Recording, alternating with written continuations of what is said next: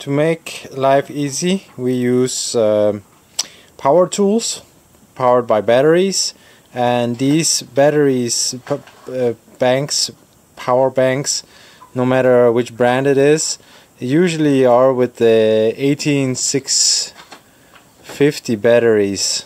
And uh, let's see how you can do it yourself to change these batteries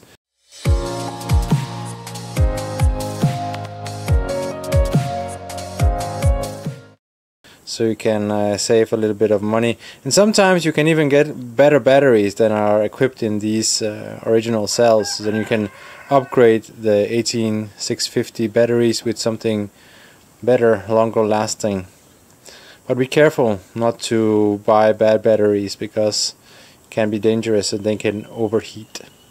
This is just one of uh, the brands that are available for me to buy online here in Thailand. I'm not sure if how well they perform in a battery pack.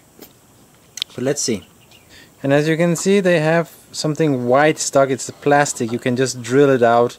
I usually use a metal drill to drill out this uh, plastic stuff. So I can access the, the screw that is in the bottom.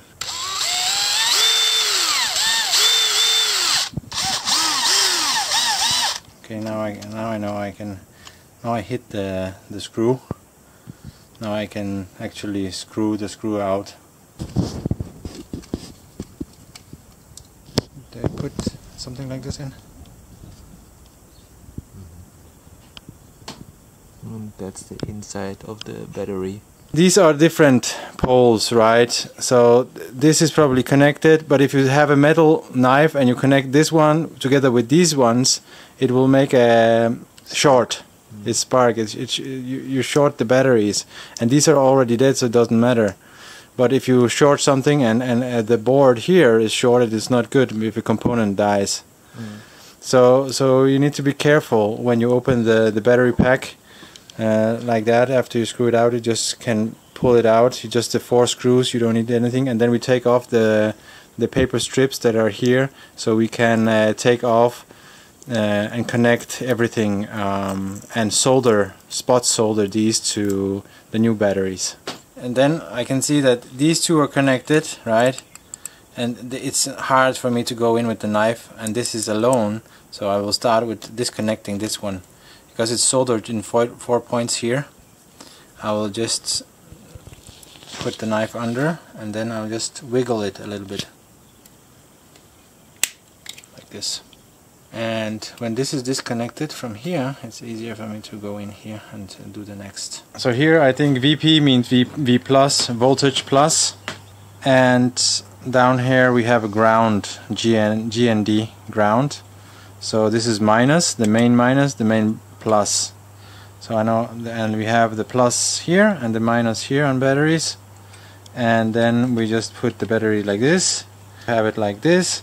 And then this is the minus so we need the the plus here and then we have the ground here yes so minus bulwark and then actually you can actually just like hold it with your fingers and if you have a friend you, they can try to you can see okay there are no sparks or anything so that is good and if you have a friend you can measure the voltage from the the ground is it cheaper to change batteries instead yeah. of changing the whole battery itself. They have the whole battery pack. It's cheaper to just do change, it like this. Yeah, and sometimes one breaks, and then if you have a lot of battery, if you buy like 20 batteries and you use a lot of these, and then at some point one of these breaks, then you can measure on which one is bad and you replace one. Mm, okay. Okay, what are you doing next? Because we had this problem, we couldn't put the the metal thing on the batteries, right?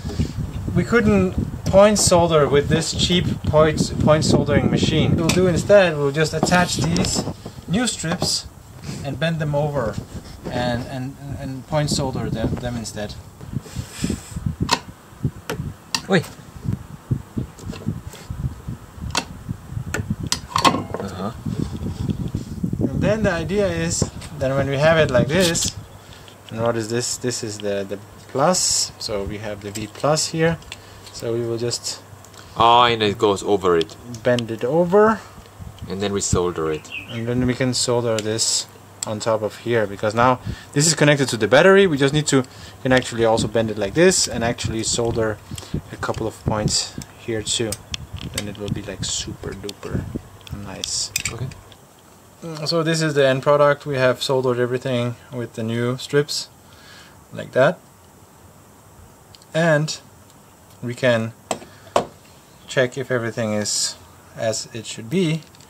As I tried to you can do that before you solder everything on. Mm, then the minus here and then the meter will show 12.5 because every I charged all the cells before beforehand and they are all 4.17 or 1 4.2 it's a good idea to, to charge them all so they are the same voltage so they're full for putting stuff into a battery pack.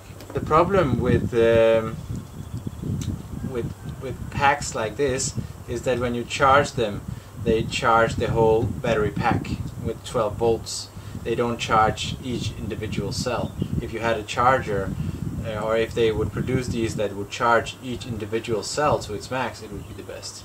As we say in Thailand, safety first. I will just cover everything in a ปลอดภัยไว้ก่อน ที่ประเทศไทยไม่ใช่ safety first ปลดไปไวก่อน อืม So we just take some tape and just tape everything together so there will be no shorts or whatever crazy stuff. So we know we have this guy, this guy goes in something like this. Then we have a little spring here.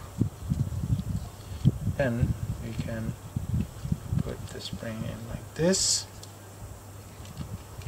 Spring works and this battery pack works like that. And then in like this right? And then just to make sure that we didn't destroy anything we can measure on these points also